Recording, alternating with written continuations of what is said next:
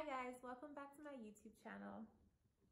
Today I want to talk about how I started Ziva. Um, you know, everything that happened behind the scenes before I was able to start, my success story, my journey, um, and anything that comes to my mind. so, how did this start? Okay, when I was in uni, um, I studied advertising, and one of my project, I decided to do a case study on African fashion and um, with a focus on Ankara. And you know, during the course of this project, I was inspired. I was like, oh, I'm gonna do a ready to wear line. I'm gonna do ready to wear with Ankara.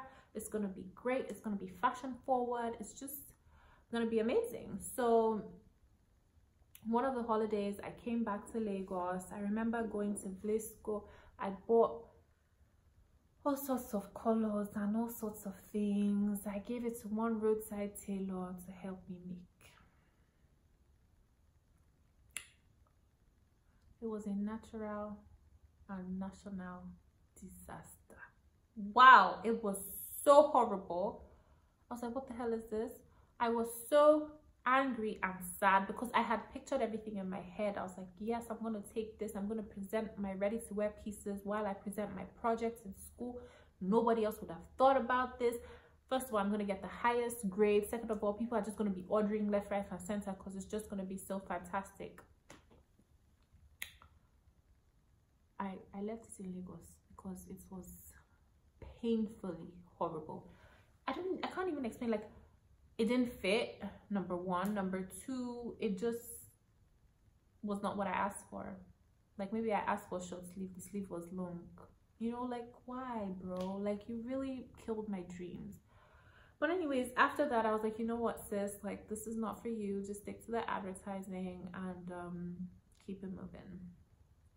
So then when i moved back to nigeria i moved back 2013 you know i had um I had a nine to five. I worked in the entertainment industry.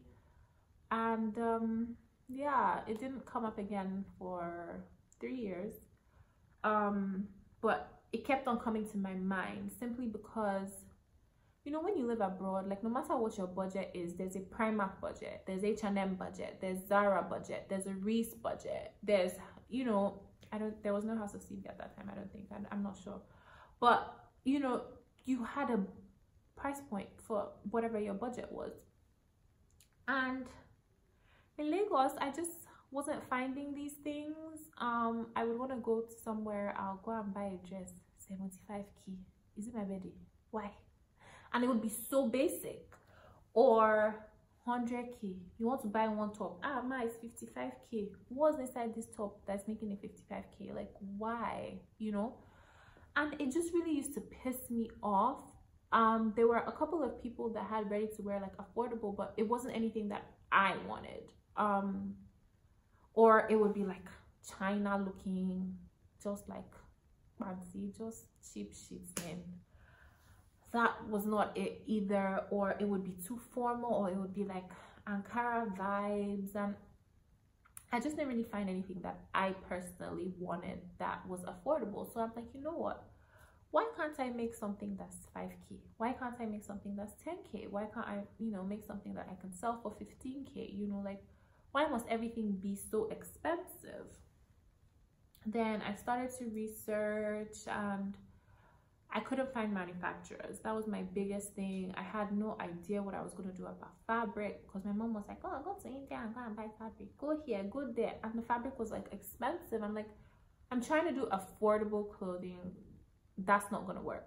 I tried looking at china they're like oh you have to order 10,000 meters. I'm like with what money? You know that didn't make sense.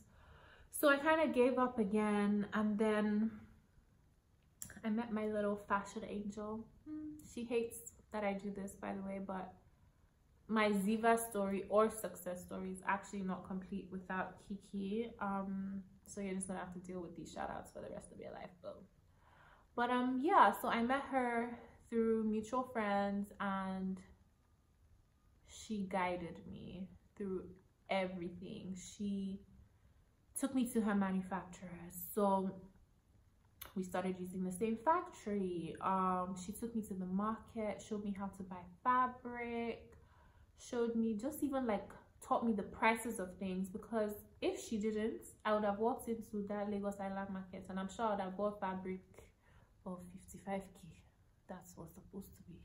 One key buyer. Because i just had no idea. You know i never went to fashion school. I didn't know anything about fashion. I just knew that I wanted to make affordable clothing that everybody could buy. Um, so yeah, she taught me everything and I remember buying all the fabric first, ordering my labels, thinking of a name even. That took me the longest. Whoa, there's no type of combination of name that I did not combine. My name, my mother's name, my father's name, my cause name, this one's name, that one's name, my name backwards, my name from the front to the back, my initials trash. They were all absolute trash. And then one day, I was watching NCIS. Now, before I say this story, I was told to lie about how I came about Ziva because the story is just not great. But I just don't feel like there's a need for that. So I really like NCIS and um, Ziva did something um that is a character in NCIS and she did something I can't remember but I remember being like Ziva wow I really like this name I wonder what it means so then I googled it and it means like God's light and you know like brightness and like brilliance and stuff and I'm like hmm Ziva is a new light Ziva is a new light of my life. It's going to be bright. It's going to be great.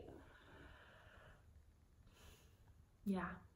There's no oh it came to me in my sleep. It didn't come to me in my sleep. There's no god spoke to me. Mm -mm. there's none of that.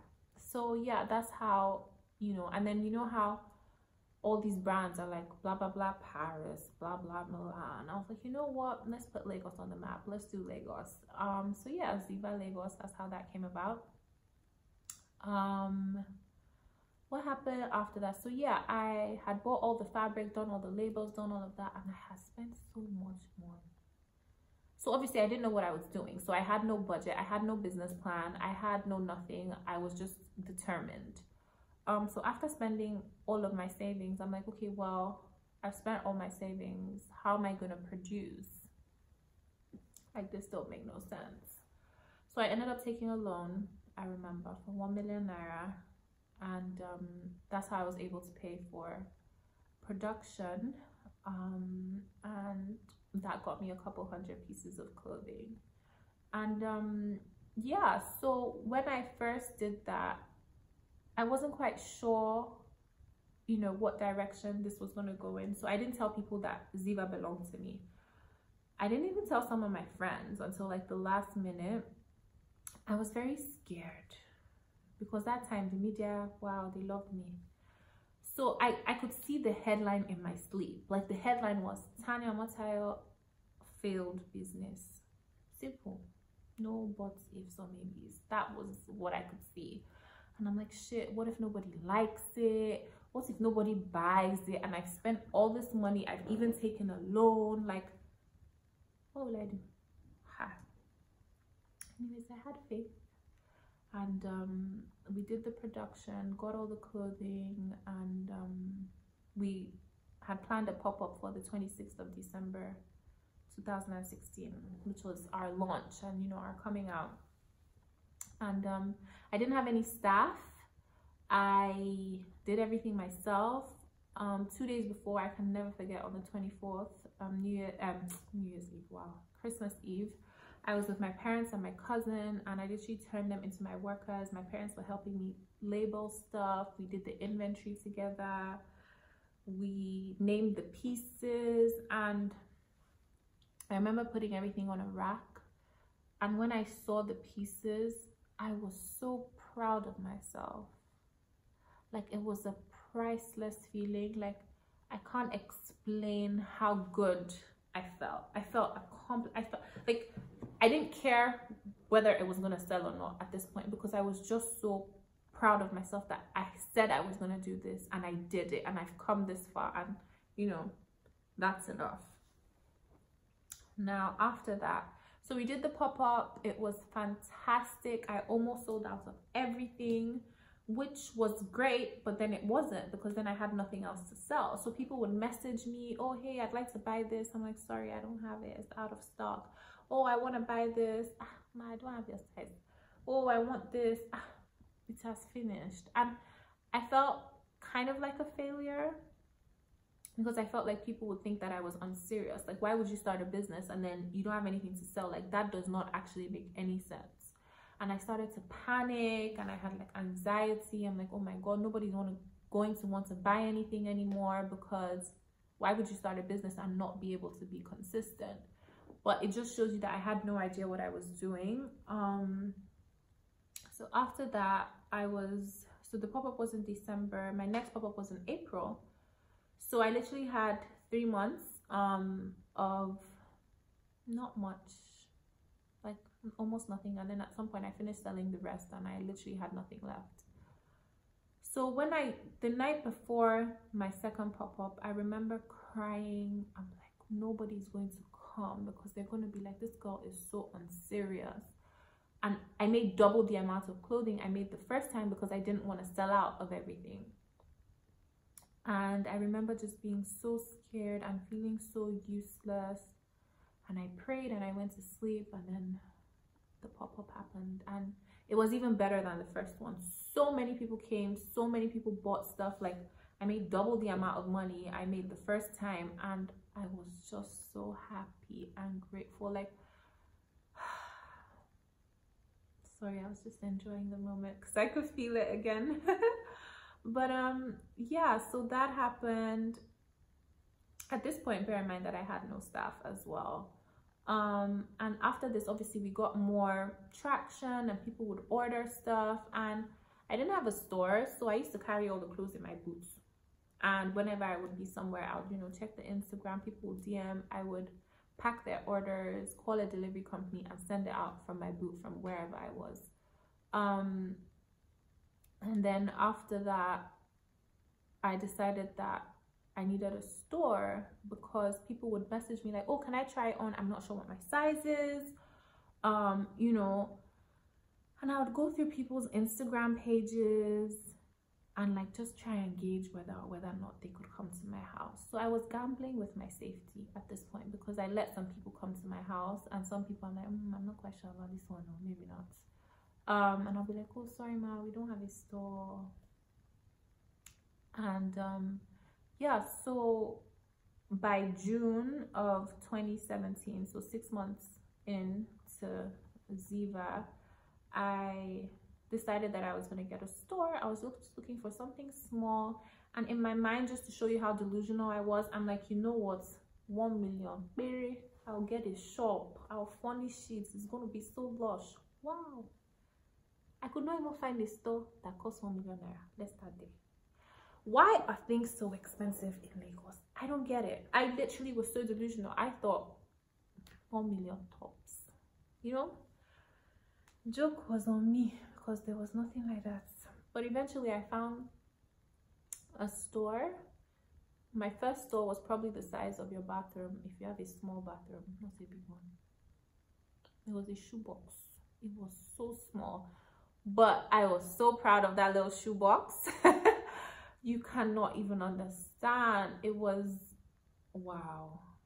Even just the process of setting it up, like, it cost a lot of money for me at the time, but it, it was everything that I needed. And, you know, I didn't realize how much I needed a store until I got the store because now I had sales every day. Like, every single day. Even if I only sold one thing, between Instagram and the store I was selling.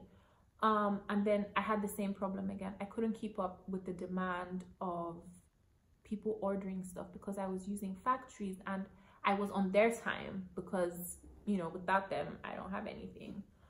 Um, and that kind of delayed me, slowed me down a little bit. So I started researching. I found other factories, thankfully. Um, and even one lady who fucked up all my shit wow I, I was never able to sell the stuff i actually gave them out because they were so horrible and i wasn't gonna risk my name for a few naira like no I still even have some somewhere. I, I found them in my office the other day. But like I could literally not sell them. So I went through that and that whole loss because the fabric had wasted. I paid for production that had wasted. But you know, it was a learning experience not to just give anybody your fabric. So I continued using my factories and um, six months in, we got a letter saying that the landlord of my mall was not actually the landlord of the mall and the real landlord had sold the property and we need to pack our load and be going now i remember just feeling like the world was against me like this blowing that i want to blow i can't it's not for me you know i was very sad i was just in a bad place like it didn't make sense and you know the worst part is I wanted to move after my rent was up in the one year because it was so small and we had grown so much that I knew that I needed a bigger space, but I wasn't ready in just six months. And I had six months left of my rent, which I never got the money back for, by the way.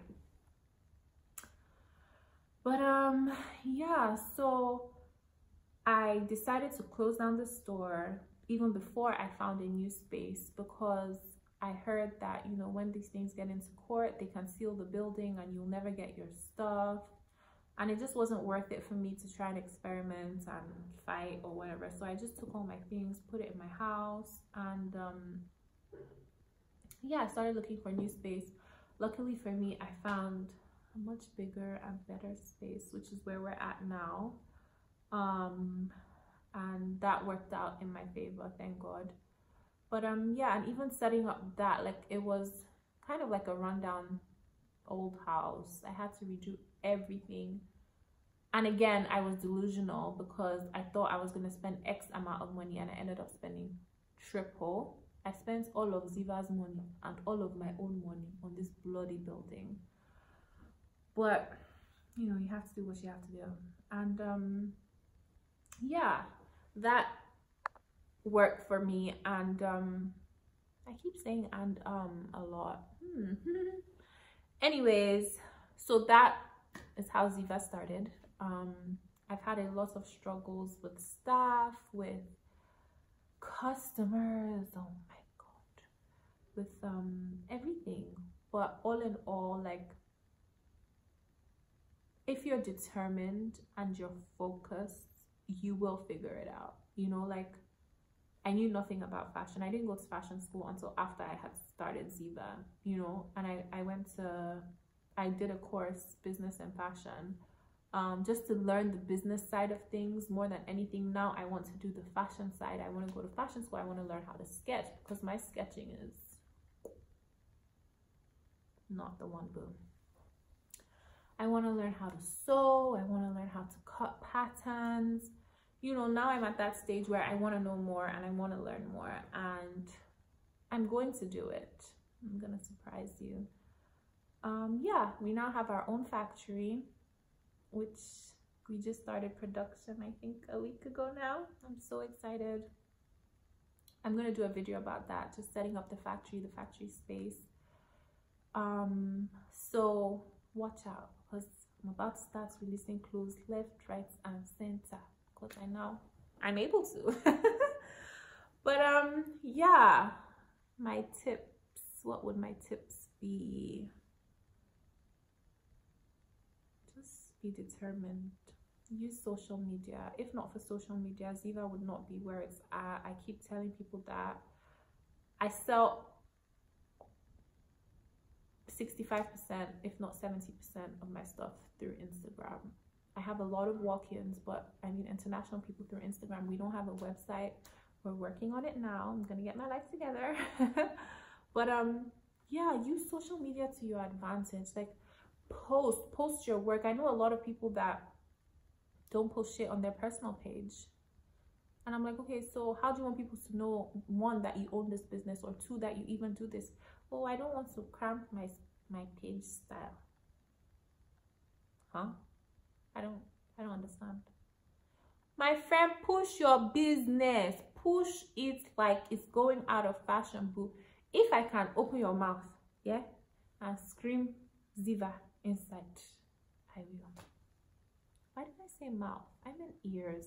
Wow. But anyways, I'm not going to edit that out. So my point is just push your business, promote your business. Nobody's going to be able to promote your business like you will be able to do. Nobody's going to carry your business on their head because it's not their business, it's yours. So push it. Like tell people about it. Go for conferences, go for mm, like exhibitions, go for things that, you know, are in line with what you're doing. Take your business cards, sell yourself. Like there's nothing wrong with it. Promote yourself. People might not like your picture, people might not like your post, but they will see it. Do you understand? It's not even about the likes and things like that because some people are just haters. That's the honest truth. I've had somebody tell me, Oh, you post Ziva too much. And see, if I don't post it, who will post this for me? Is it gonna be you? No. So do you, boo. Yeah, post as much as you can. Shout it from any rooftop and be proud because it's not easy to start a business. It's not easy to stay consistent in a business. It's not even easy to have a business and be sane, you know? It's very hard being sane these days. So that's combined with like a business or if you have a family, like I'm struggling trying to balance Ziva, my child, my boo. It's it's a lot of work so yeah um for my next video i wanted to answer questions about how to start a business or anything you know about my business or business in nigeria or anything actually so please comment below or dm me on instagram or comment on this video post on instagram and just let me know what questions you have and then I'll do a video answering all of that. Thank you so much for watching guys. Don't forget to subscribe because you don't want to miss my next video. Fact, you don't want to miss any of my videos because they are going to be juicy. I hope you learned something. Bye.